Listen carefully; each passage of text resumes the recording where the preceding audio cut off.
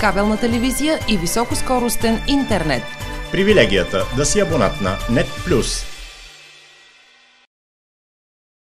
Специалисти на община Петрич са направили оглед на моментното състояние на ограждението на стадиона в село Коларово. По темата, потърсен от екипа ни коментар от общината, направи главният инженер Николай Попов. Даде и конкретен срок за началото на работата за решаване на наболелия проблем.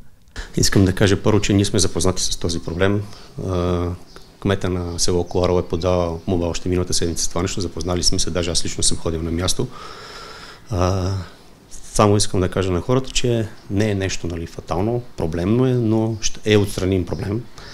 А, причината така да се забавим леко, тъй като в момента, доколкото е наясно на хората, работиме горе по пенсионерския клуб. Мисля, че в края на тази седмица пенсионерския клуб ще бъде почти готово завършен, така че живи здрави, другата седмица ще започнем да работим и по оградата, но към днешна дата това, което трябваше да направим като първични стъпки, тъй като отзад има много висока растителност, започнахме да разчистваме именно това нещо.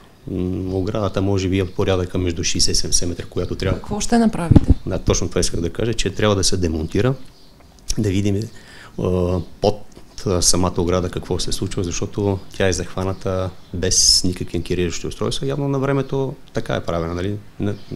Няма как да гадаем, но трябва да бъде изцяло демонтирана, да видим под а, самата ограда какво има, ако трябва ще бъде направени някакво усилване с тип пояс и тогава самата ограда ще бъде монтирана на ново. Какъв срок, господин Попов? Ами предполагам между 20 и 30 дни, зависи от условията. Както виждате, последно време много дъждове има, така че се надявам. Ще започнете следващата седмица. Но ще започнем категорично следващата седмица. Продължаваме да следим темата в развитие. Кабелна телевизия и високоскоростен интернет. Привилегията да си абонат на NET+.